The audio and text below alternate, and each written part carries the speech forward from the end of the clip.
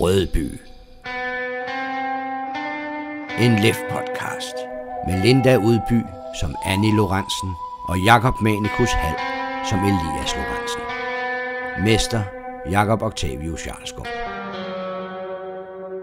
Episode 10 Annie og Elias har fanget præsten Eva, der prøvede at flygte.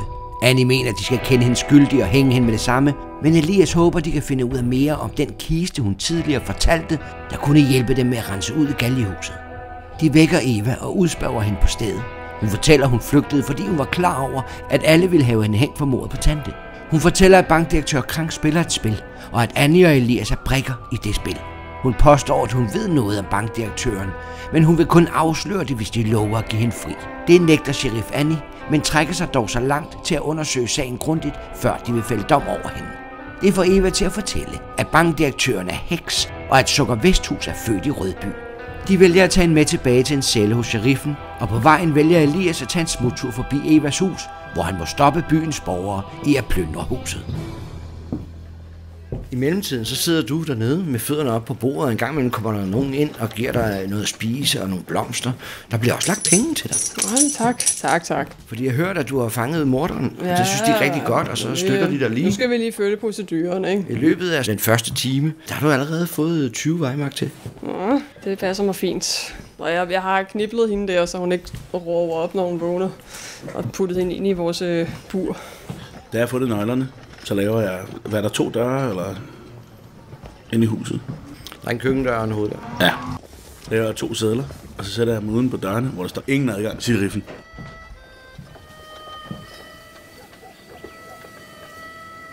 Himlen er ved at blive rød.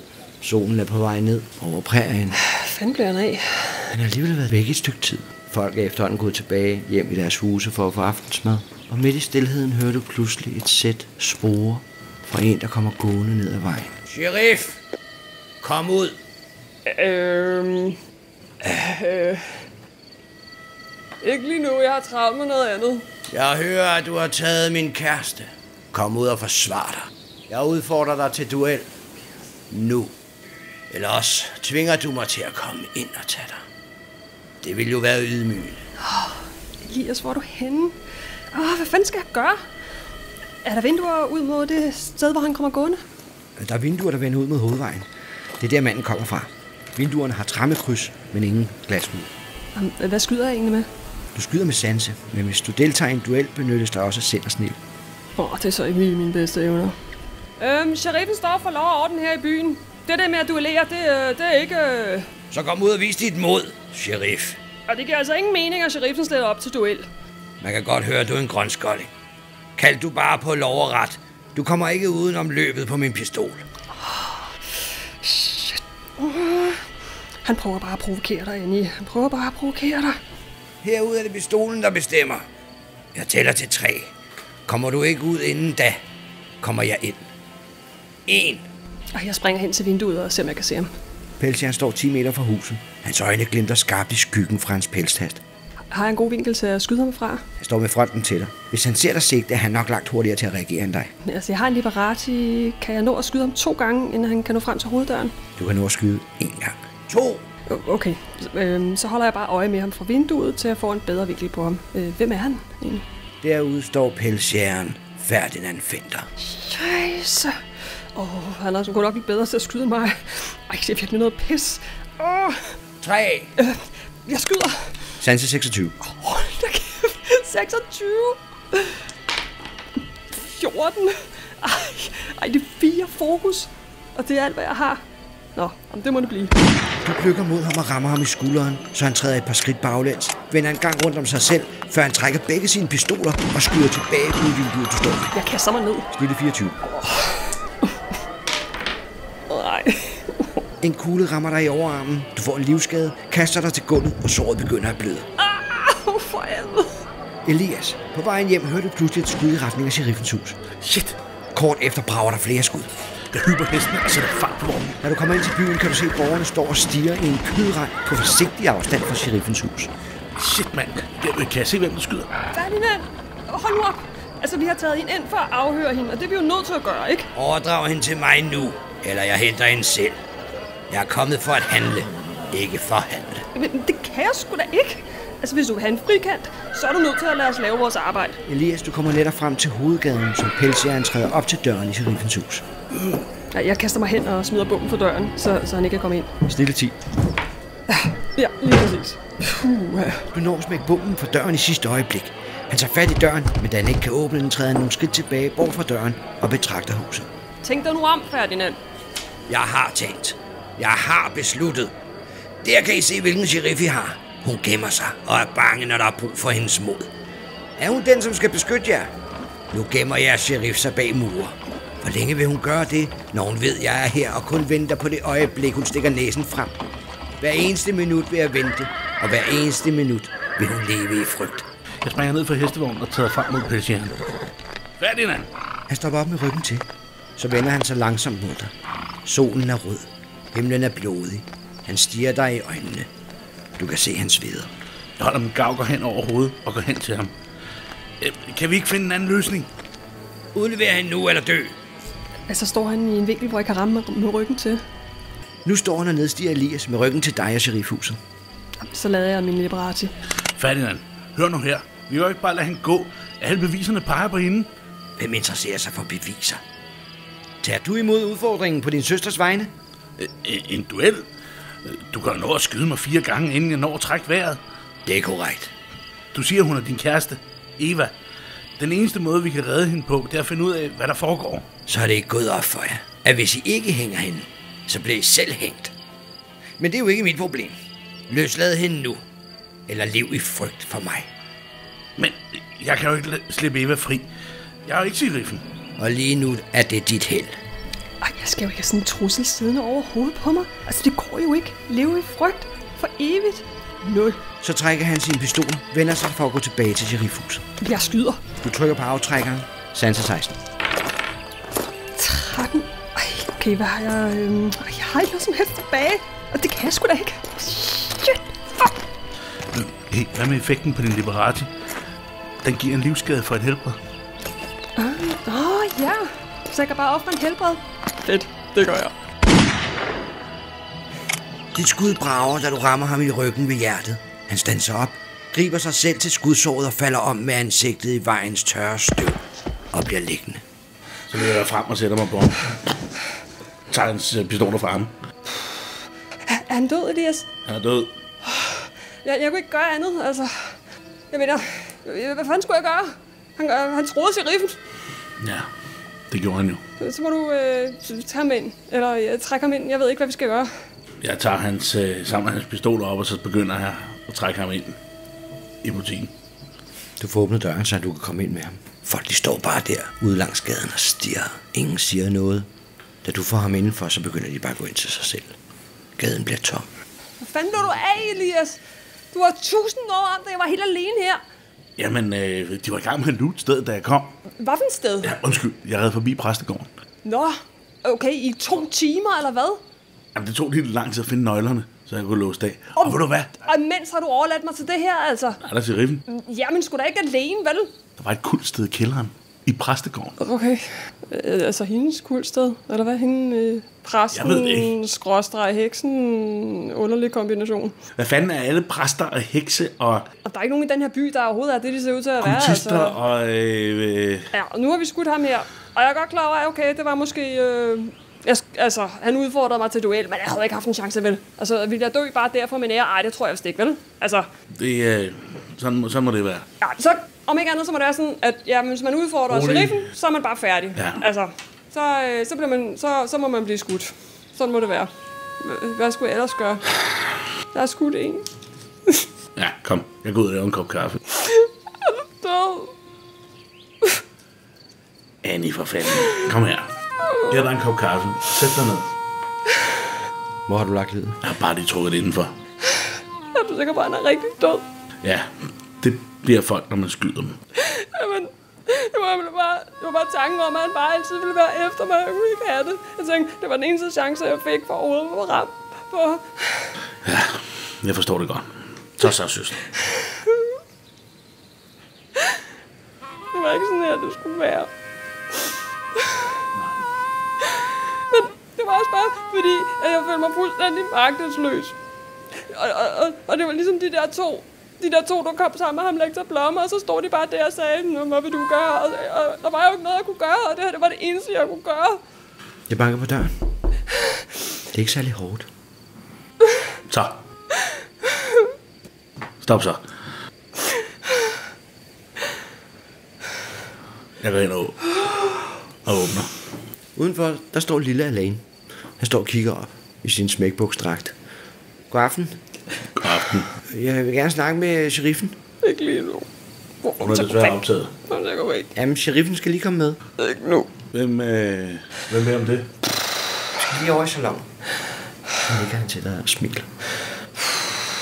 Hvad sker der over i salongen? Kom nu. Fortæl mig det nu lige. Jamen, de har lavet en forberedelse derovre til hende. Kom nu. Nå, okay. Altså sådan en, øh, sådan en fest. Øjeblik. Vent lige to sekunder. Lukker jeg lige døren igen. De har lavet et eller andet over i salongen. Så. Tag nu en tog kaffe mere, og så undersøger de ham der for farmika. Han har seks farmakager på sig. Han har seks farmaka. Han har en fokusrifle. en fokusrifle. Men jeg, jeg kunne ikke gøre andet, vel, Elias? Nej, du kunne ikke gøre det. Jeg har aldrig slået nogen ihjel før. Nej, det følger nok desværre med jobbet som sheriff. Vidste jeg jo ikke. Jeg Nej. troede bare, at man skulle ligesom... Jeg ved ikke, hvad jeg troede. Ja, kom her. Men det er i hvert fald ikke særlig rart. Jeg giver dig en stor krammer. Kom, så. Så, så. Det går nok alt sammen. Hvad skal jeg gøre? Jeg, jeg er totalt ude på dyb vand, Elias. Jeg ved ikke, hvad jeg skal gøre ved det her. Nu går vi over i salongen, og så vil de sikkert prise dig for det arbejde, du har gjort. Eller også vil det sige, at jeg er for- kujon. Altså, fordi jeg skød manden i ryggen. Ja, det er nogle gange nødvendigt som sheriff. Er det? Det tror jeg. Det var det i hvert fald i dag. Så, så, så tror du, det er okay? Ja, selvfølgelig. Okay. Har du brug for farmika? Ja. Det tror jeg nok. Jeg har brug for lidt meget Ja. farmika. Der er tre. Hvad har du for noget? Det, du skal bruge. Det vil være et krafttabs. Pep-tabletter. Du har tre peptabletter, eller hvad? Ja, Og der var ikke noget øh, stegolin? jeg har en. Vil du have den? Ja, tak. Okay. Okay. Ja, Bare, vi, vi må simpelthen finde en måde, hvor vi kan komme ud af det her hurtigst muligt, Elias. Det, det er fuldstændig... Øh, det var overhovedet ikke det, jeg havde forestillet mig. Altså, jeg havde ikke forestillet mig, at det skulle blive så... Altså, sådan, så alvorligt, så hurtigt, ligesom. Nej, det er jeg bange for, at det gør herude. Det var også dig, der startede med at sige, at hvis vi ikke meldte os til den her chance, så var det os, der blev hængt op på det. I træder udenfor. Der er helt stille i byen. Hvem er ham der knægten står noget stadig? Han står og venter. Det eneste, I kan se, det er en vindhæks, der ruller ned gennem gaden.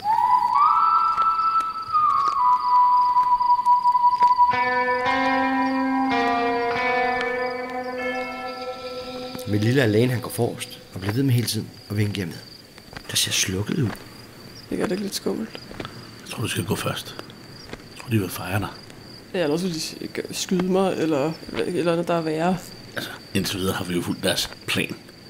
Ja, ja, så inden den plan går ud på, altså, jeg føler mig mere og mere som en brik i et eller andet spil, jeg overhovedet ikke forstår. Ja, Jeg er heller ikke vild med det. Men jeg tror, vi bliver nødt til at spille med indtil videre. Okay, vi spiller med. Okay, lad som ingenting. Alt er okay, alt er okay. Okay, 1, 2, 3, jeg gør det. Nu gør jeg det. Så træder du op til salondøren og åbner den her dobbeltdør ind. Og i det øjeblik, du gør det, så bliver lyset tændt. Og så begynder klaveret at spille. Og så begynder folk at juble. Og der ser du halvdelen af byen er samlet og står derinde, og de rejser sig op, og så klapper de. Og der er hængt girlander op, og de har skrevet dit navn på en stor banner op på baren. Okay, hvordan er det nået det så hurtigt? Jeg træder ind og lægger armen om hende og løfter hendes ene hånd for hende op i luften. Og så hyler de alle sammen. Ja, det er Kom vores sheriff, det er vores sheriff. Og deroppe ved baren, der står Bellucci, Molbo og Rousseau og Kranke og smiler. Tillad os, at vi lavede en lille arrangement for dig. Ikke nok med, at du har fanget morderen. Hvad måske endnu bedre er, at du har befriet byen for den frygtelige tyran. Altså, øh, hvem? Ingen turde stille sig op imod ham. Nå, øh, pelsjæren, mener du? Ja, naturligvis Pelsjæren. Han er tyrannen her i området. Ferdinand Fenter. Okay. En frygtelig slagsbror. Ja, det synes jeg måske nok også lige, han var lidt aggressiv. Lad os lave en skål for vores nye sheriff. Længe leve sheriffen! Råber de, og så skåler de alle sammen. Og så får du et par whisky at sætte hen. Okay, jeg har det faktisk bedre nu. måske var det okay alligevel. Altså, øh, måske var det rigtigt, det jeg gjorde, eller hvad? Kom nu. Ja, okay. Om ikke andet, så spiller vi med. Ja, okay. Det er svært ikke at spille med, når de vil fejre mig. Det synes, altså på en måde var det også meget sejt, ikke? Jeg fik ham lige. Alle kommer lige, og så får du lige et klask på skulderen, og øh, Ja, en og anerkendende ikke- nikker ikke en tommelfinger. Jeg blev også ramt i skulderen selv jo. Altså, det bløder stadig lidt. Lægen kommer op og kigger på dig. Ja. Skal vi ikke lige få ordnet den med det samme? Jo. Uden regning naturligvis. Og tak. Altså, så længe det ikke er ude i baglokalet. Bare herover. Okay, fint. Giv lige en stærk whisky, så det ikke gør så ondt. Ja. Og så begynder han at- bore ind i det der hul. Han gør ikke noget med at bedøve eller noget. Det er whiskyen, der skal gøre det. Lad lige en fysik syg. Åh, jeg klarer det. Jeg bliver måske lidt overrasket over dig selv, at du faktisk kan modstå det ret godt. Det gør rimelig ondt, men du bider det i dig. Ja. Det er nu, jeg skal se sej ud. Og det der whisky, det hjælper faktisk også lidt. Jeg har Spiller du faktisk... fem diamanter, sheriff? Øh, ja, selvfølgelig.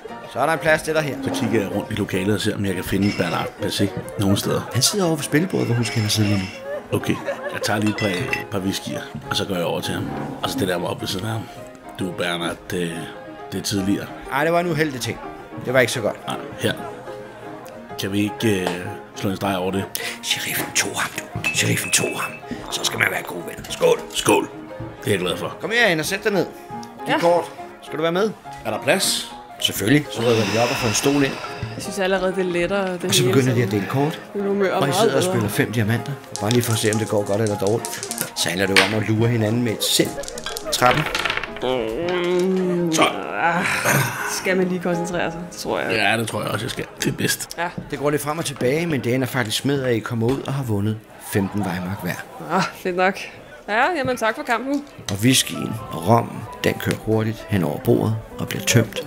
Måske skulle de er okay alligevel, altså. Fysik 6. Ja, jeg synes sgu, de er fine mennesker, det der.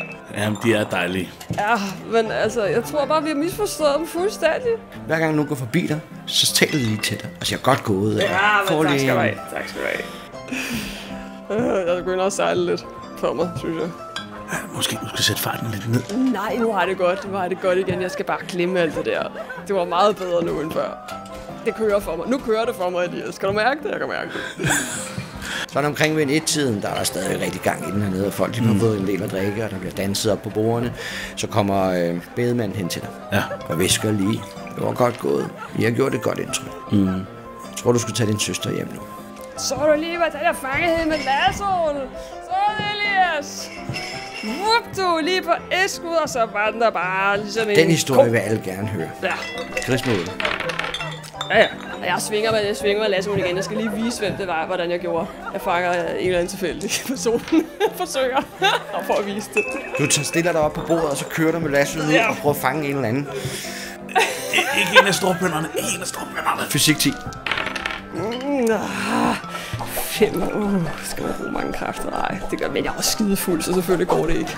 Du rammer ikke. Folk de griner og hujer, og så skal vi lige have en til. Åh ja, vi skal, skal have en whisky mere, så går det nok bedre. Stå stille, Elias. Prøv jeg på dig. Jeg står og snakker med bedemanden. Mens din lille søster, hun prøver at fange dig med sin lasso. Fysik 7. Gang, det går det. Kan jeg hjælpe med noget? spørger Ringenbakker og læner sig imod. Det skal vi måske tale om på et andet tidspunkt. Åh, oh, jeg ser, at du er blevet fanget af deres søster. Ja, jeg er åbenbart blevet til dagens kvæg. Så sådan der gjorde jeg, og så trækker jeg bare til dig og byltet sådan her. Og folk i de griner og synes, det er evigt morsomt. Lav en karisma nummer 8. Ja, ja, masser. Jeg sniger mig ud af den der så hurtigt, som jeg overhovedet kan. Nå, det kan du overhovedet ikke. Jeg har fanget dig og byltet dig. Det går bare aldrig fri. Hele salongen er underholdt. Og står og stiger og råber og skriger. Vi skal hjem nu. Nå, hvad vil du så gøre, Elias, hva'? Der ligger du der, hva'? Mm, kilder ham. Nej, nej, nej, det er for fanden. Stop nu. Ja, du kan ikke gøre noget, jeg vel? Jeg prøver at bide det i mig. Og ignorere det. Så går jeg hen og tager min lille søster og siger, nu skal vi hjem. Åh, jeg er Ind- glad. Inden du får viklet dig ind i flere ting. Ja, det er sgu dig, der får viklet dig i en ting her, hva'? Kan du huske for et par timer siden, da vi sad nede på Så kontoret? husk ikke med mig det, nu har jeg det lige så godt, Elias. Kom nu. Stop mens lejen er god, ikke? Ja, ja, okay. Okay, så. Ja, ja, okay. Jeg skal også have noget mad. Beklager, venner. Sheriffen må passe sit arbejde. Hvis sheriffen skal hjem, er der nogen, der råber. Og så begynder de at råbe, sov godt, vi ses. Ja, vi ses. Det er ret at vide, at vi alle kan sove roligt i nat. Ja, nemlig. Sheriffen passer på byen på Rødby. Sheriffen passer på byen. Længe leve Rødby. Længe leve sheriffen. Det er det Rødby. Ja, ja, kom, klar. Annie og Rundby, det er meget. Annie Rødby. Og så vader I ud på terrassen ude foran salon. Kigger ned ad gaden. Har tomt. Har mørkt.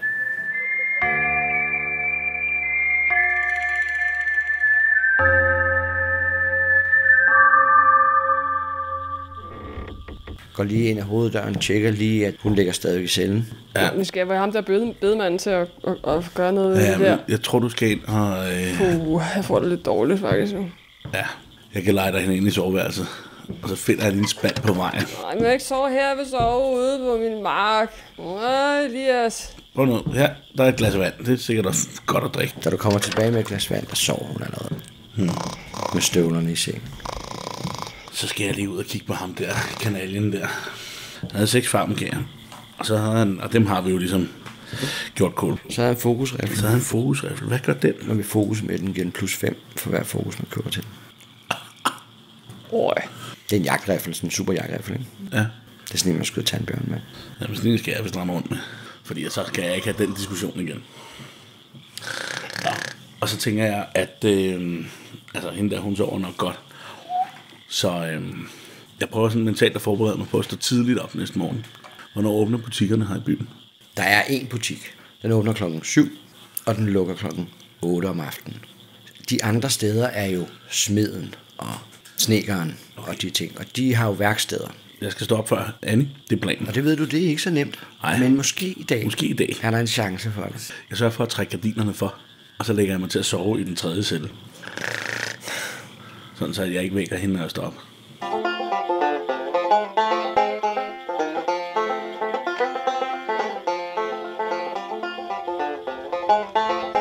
Men der er en anden ting, du ikke har tænkt over, da du vågner op klokken 6 om morgenen ved en hane, der galer fuldstændig vanvittigt nede ved nabogården. Du kan høre, at Annie hun vågner derinde, grønter lidt, kaster lidt op i spanden og vender sig om i sengen så skynder jeg mig ud. og lægger sig til at sove. Jeg skynder mig ned til butikken. Står en masse kvinder ude foran, der også på vej ind for at købe ind. Godmorgen. Godmorgen. Godmorgen, siger de alle sammen. Og er overraskende venlige. Smiler til dig, når de kigger på dig. Godmorgen, godmorgen. Får også lidt anerkendende nik, da de ser stjernen på brystet. Tager til hatten. Hilser på. Og så går jeg op til... Øh, Hvad kan vi hjælpe vice-sheriffen med? jeg skal have et par flotte spore til byens serif. Vi har lige fået de her helt nye. Så går han hen ad et par stykker og sætter op til dig. Tre forskellige typer. De er lige gode, men der er forskel på designet. Du kan se, de her de er lavet sådan, og så viser han dig nogle detaljer på. Ja, jeg tager dem, jeg tror vil passe bedst til Annie. Så køber du et par. Og hils, sheriffen. Tak. Har du noget papir, jeg lige kan pakke dem ind i? Som en lille gave. Ah, det er en gave. Jeg har en gaveæske. Endnu en bedre. Så går han hen og finder nogle fine pastelfarvede gaveæsker. Og lægger dem ned i og vender dem rundt om. Og den er selvfølgelig lyseblå. er til din søster. Selvfølgelig. Mange tak. Så betaler jeg, og så går jeg tilbage. På vejen tilbage gennem byen, der bliver der råbt hej fra alle steder. Selv smeden stopper lige op et øjeblik. Han står ved at lave en hestesko. Vise sheriffen. Godmorgen. Godmorgen. Og så kommer du tilbage igen til sheriffhuset. Da du træder indenfor, kan du godt, okay, han lugter faktisk rimelig meget sprut herinde. Ja, jeg må jeg åbne døren og vinduerne lidt, og så får jeg ryddet op i det der, der står på skrivebordet og sådan noget. Og så lægger jeg pakken, øh, eller gaven, på skrivebordet. Og så prøver jeg at åbne døren ind til soveværelset. Ikke Er du nu. vågen? Nej, Nej. Jeg laver lige noget kaffe, ikke? jeg har mega meget hovedpine. Duften af kaffe, den får dig til at vågne. Åh, det lugter godt, det der, Elias. Jeg har det godt nok ikke så godt i dag. Godmorgen. Godmorgen. Hvordan går det? Hvad er klokken? Ja, den er vel 8. Godmorgen, godmorgen, hører jeg pludselig ud fra indgangen. Ja, jeg hørte jo, at der var lidt ballade i går aftes. Hvem er det, der står derude og råber? Kan du ikke komme til at gå væk, Elias? Jeg går ud. Det Las Bombas. Ja, der var jo lidt på styr i går aftes. Jeg havde tænkt mig at lave en lille forestilling. Men jeg skal åbenbart have sheriffens tilladelse, har jeg fået mig fortalt. Hvad for noget? Jeg Forestilling. ved ikke, om vi beskæftiger os med den slags. Hvad er det? Det siger de over på salongen. Hvis jeg skal have lov til at stille mig op og lave en lille forestilling. Jeg har en lille sidegeschæft med teater om bag mit apotek. Okay. Et teaterstykke. Ja, Hvornår? ja, men... øh, Gør vi vil jo det? gerne stille op i aften, og så holde øh, en forestilling i aften. Øh, Jo hurtigere jeg kan få tilladelse, jo bedre. Og Jeg skal jo også have lavet nogle plakater og sætte op i byen. Ja, ja, det er fint nok. Ikke? Ja, ja. ja. Gør du bare det? Gør du bare det. Så længe det ikke er lige her foran sheriffkontoret. Og Øh, Det er naturligvis ikke, men jeg bliver nødt til at have underskrevet de her papirer. Ja, dem, jeg, jeg tror, dem tager jeg lige. ja, det må du vist tælle op. Er noget galt med sheriff? Hun er træt her til morgen.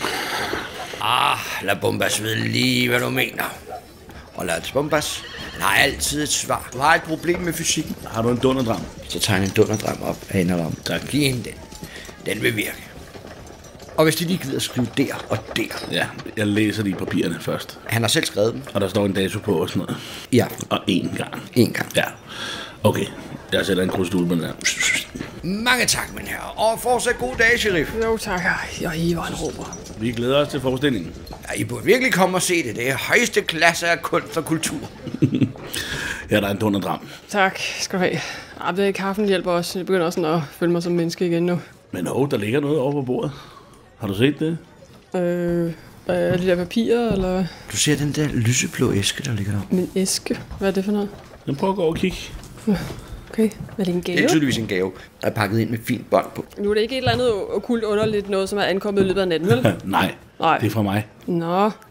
Ej, tak. Den op. Okay, jeg pakker op. Der ligger to lækre spor til dine støvler. Ej, er det til mig? Ja da, man kan da ikke være serif uden at have spore, kan man? Ej, tak, Elias. Ej, hvor er du sødt af dig. For en kæmpe krammer. Jeg tænkte nok, at det... Åh, oh, ikke så hårdt. Du ikke lige trykke der.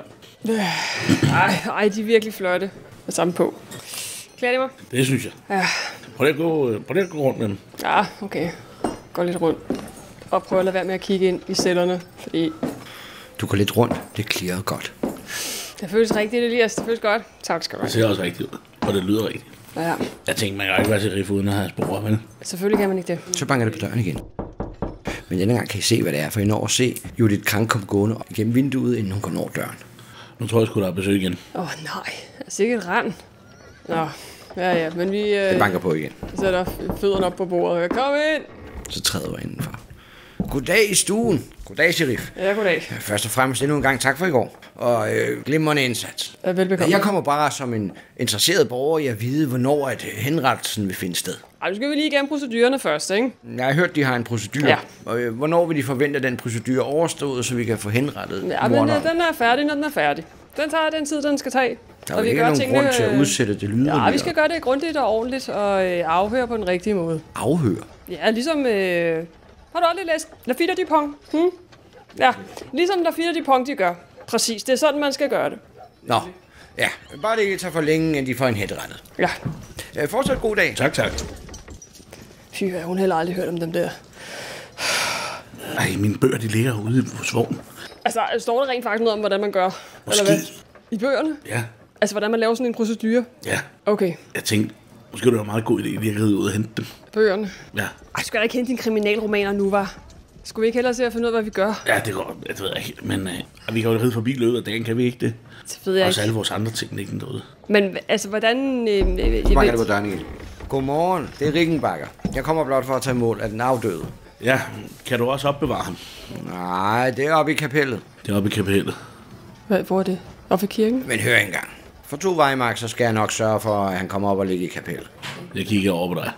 Jamen, øh, har, har du egentlig undersøgt ham, hvad han har på sig? Øh, Ja, ja, og han må han også med i den der kul, for eksempel. Har du kigget på hans krop? øh, om han er sammen, tænker du? Har du ikke sige, at han kan komme og hente mig om lidt? Ja, Glimrende. Og godt arbejde, Jo, tak.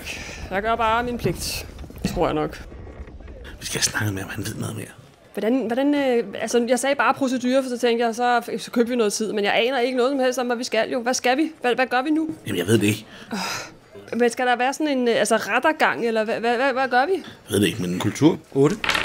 du sidst. Øh, Så 17. ikke et hakker. Hvad gør vi, Elias? Du er klar over, at herude er der ikke nogen rettergang. Den vil ikke være mere lovlig, end at lade være med at gøre det. For der er ikke nogen autoritetspersoner. Der er ingen officielle personer. Lige nu er det tætteste, I kan komme på en officiel person. Det er Annie. Vi skal vel skrive en domfældelse eller et eller andet den stil. Der er ikke nogen overmyndighed. Det er bare mig, der bestemmer. sådan er det. Ja, jeg, jeg tænker, vi gør det sådan her, at vi skriver ned, hvad hun er dømt for, Ja. og øh, hvorfor vi har dømt hende, Ja. og øh, hvad dommen så lyder på. Og så kan vi arkivere det. Men altså, det der med sådan advokater og sådan noget, det bruger vi ikke til noget her. Nej, det tænker jeg ikke. Nej, vi har også bare kun dårlige erfaringer med dem, ikke? Okay, hvad, altså, vi slipper, vi slipper jo nok ikke for at henrette hende, vel? Men vi er nødt til lige at få de ting i orden, som vi nu kan få i orden inden da. Jamen, har hun nede i kulsted kælderen? Hvad var det for en altså, slags kuldsted? Kunne man se, om det var den der sådan, så, Hafner? Det, det ved jeg, forstår mig ikke på den slags. Men jeg kunne se, der var et pentagram på gulvet og en masse og sådan noget. Nå, Jeg tror, jeg tror sgu ikke gå derned. Nej, okay. Det havde ellers været smart, hvis du havde gjort det, ikke? Så har vi måske mistet lidt mere. Ja, ja, det er godt. Jeg var helt flad. Fandt du skrinet? Nej. Så var de jo i gang med at stikke af med alt indbruddet. Ej, de andre beboere? Ja, ja, ja, ja. De var i gang med at stjæle hele lysestager og alt muligt. Jeg, Var de i gang med at stjæle foran os? jamen, jeg blev nødt. Nej, Vi stjæler ikke noget. Nej, altså tager jeg, men at konfiskere. Ja, ja, det er noget Ej, det er da andet. for groft. Det Men kan altså, man da ikke bare. Passet stod dernede, vi kom op og skændes. Jeg blev nødt til at tage min riffel af skulderen. Hold op. Det var sørme stort af dig, ikke? Jeg blev ligesom nødt til at skyde en, Elias. Ej, hvor er det hårdt for dig. Jeg har også kun viserif, ikke? Hvem er det, der er guldstjernen? Altså, hvis vi endelig skal... Stadig. Ja, det tog lidt længere tid, end jeg lige havde planlagt. Ja. Så banker du på øh, døren igen. For helvede! Så må jeg få lov Det er sukker. Med, må jeg komme ind et øjeblik? Så døren og træder af. Altså, øh, det passer faktisk dårligt lige nu. Nå, det er jeg ked af. Jamen, så vil jeg selvfølgelig ikke forstyrre. Hvornår kan jeg komme igen? øhm, hvad var i morgen? Prøv i morgen. I morgen. Ja. Ja. Øh, Jeg ville selvfølgelig bare til lykkeønske. Jeg kunne ikke være med til festen i går, det beklager jeg, men, Men hvorfor jeg kunne tænkte du også... ikke Jeg har desværre andre forretninger. Men jeg vil gerne vise, hvor glad jeg er for det. Og derfor tænker jeg, at øh, der burde sættes noget mere økonomi til sheriffen. Ja? Det var det, jeg gerne ville hjælpe lidt til med. Men jeg kommer i morgen. Ja, okay. Hun nikker, så går hun igen. Ja, kan man ikke sætte et lukket skilt på den her biks? Altså, vi er nødt til at lave sådan et Jeg er ikke sikker på, at det er sådan, det foregår. Jeg tager noget af det der mad der, og så giver jeg noget til Eva. Er hun vågen, eller hvad? Ja, hun er vågen. Men hun er knæblet. Du skal ikke tage det der knæblet ud munden på hende, så begynder hun at udspyge æder for balser igen. Altså, hun må sulte. Sådan er det. Det er også lige meget, hvis hun skal dø Nå, lige om okay, lidt, ikke? så værsgo, så fi- får du noget at spise. Altså, man skal fat i det skrin. Og skal vi bruge hende til noget som helst i den forbindelse, eller skal vi ligesom bare... Øh, er det to øh, ting, der ikke har noget Så jeg med tror, vi har brændt alle broer i forhold til hende. Det tror jeg også. Øh, men altså, Men altså, hun var heller ikke præst, hun var jo heks. Man kan vel ikke være begge dele, eller kan man? vi kan i hvert fald gå ned og undersøge dit hus. Kig lidt mere på det der kuldsted, tænker du? Men altså, er det ja. sikkert at lade hende blive her så? Men øh, vil du blive og passe på hende? Jeg synes ikke, vi skal øh, splitte os ad. Det var en dårlig idé i går. Der så du selv, hvordan det gik. Jeg tror, vi skal holde os sammen. Så øh, vi skal ikke ned og undersøge huset. Så må vi tage hende med. Eller, jeg ved ikke. Tag hende med ned til hendes kuldsted. De... Det tror jeg er en rigtig dårlig idé. Øh, men jeg tror faktisk ikke, hendes skrin er der. Jeg tror, det er ikke Det er kirken. vel ikke hendes. Altså, hvis det faktisk er en eller anden relikvie, så ligger det vel ikke i hendes kuldsted, så ligger det vel i kirken. Ja, det vel tænker det jeg hører også på. Måske vi bare skal smutte op og kigge på kirken. Ja, men altså, Skal vi tage hende der med? jeg tror, hvis vi efterlader hende her, ikke, så er det ikke særlig svært at komme ind bare og lynche hende selv. Hvis det er det, man vil. Vel? Nej, det er rigtigt. Men på den anden side, så løser det faktisk også vores problem. Så er det ikke, altså, så er det ikke vores ansvar mere. Men jeg tror ikke, der er nogen, der er interesseret i at gøre en lunch hende sådan nu. Nu regner de jo med, at vi luncher hende. Hvis vi tror, at, at vi på en eller anden måde skal bruge hende til noget, få et eller andet hævet ud af hende, så må vi give en frist til, okay, vi hænger hende i aften, og så ved folk godt, okay, i aften sker der noget. Ikke?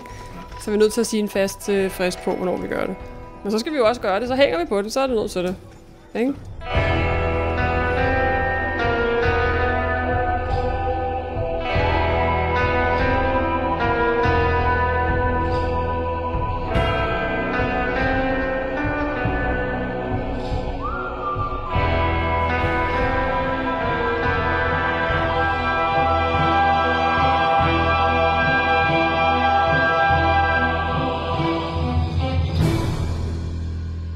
Du har lyttet til Lef-podcasten Rødby.